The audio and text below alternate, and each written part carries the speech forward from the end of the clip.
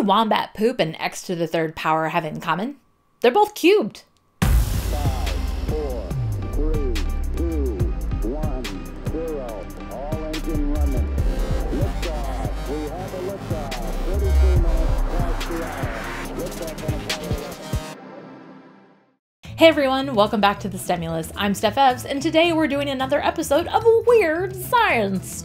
If you're a fan of marsupials, or if you've ever messed up in one of my dad's classes or athletic practices, you're probably familiar with wombats. Side note, I have no idea why dad calls people wombats, but it did cause a large picture of a wombat to get taped to his office door when I was in high school. Anyway, aside from looking like giant cuddly throw pillows, wombats have one other superpower, if you can call it that, that no other animal in the world has. Their poop is square shaped. That's right, folks. We're talking poop today, so buckle in for a poo filled episode. Bonus points if we can get this video trending at number two while we answer the question How do wombats poop cubes?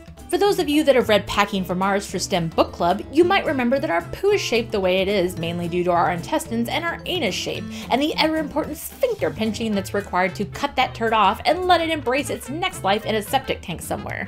Sharp corners and flat surfaces aren't shapes normally found in biology because they require a lot of extra energy. Also, ouch! So, how do wombats avoid the typical turd shape? As it turns out, wombats just have really weird butts altogether. They've got a protective shield of bone and a thick pad of fat meant to repel burrowing predators, or if they played basketball, make for a really good box out. While we've always known that wombat butts are weird, the cute poop thing has remained a mystery until recently. It was originally thought that maybe the poop got its shape thanks to a square anus, or that the wombat's stomach somehow managed to digest food such that it would create the square shape.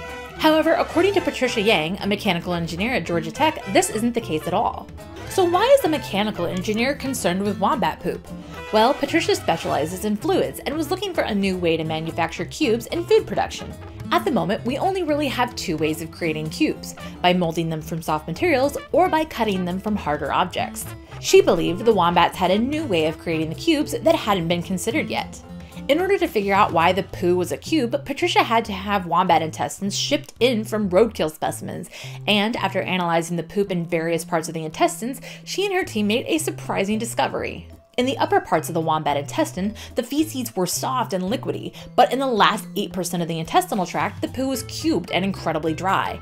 After a closer look, the researchers realized that the key to the cubed poop lied in the elasticity of the intestines. They inflated wombat intestines and pig intestines to compare the two, and what they found was while the pig intestines had fairly uniform elasticity along its length, leading to the rounder poo, the wombat intestines had a much more irregular shape. In the last bit of its intestines, the wombat had two distinct ravine-like grooves where the intestine had more elasticity, and it's this varying elasticity that Yang believes shapes the poo into cubes.